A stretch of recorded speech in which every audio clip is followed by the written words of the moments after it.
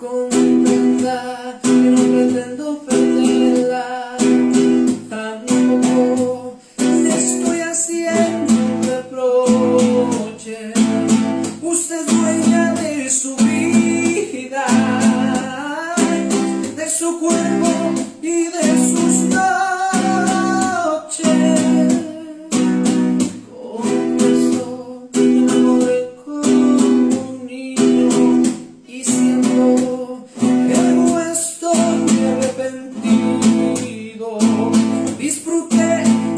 experiencia hasta calmar mi ansiedad.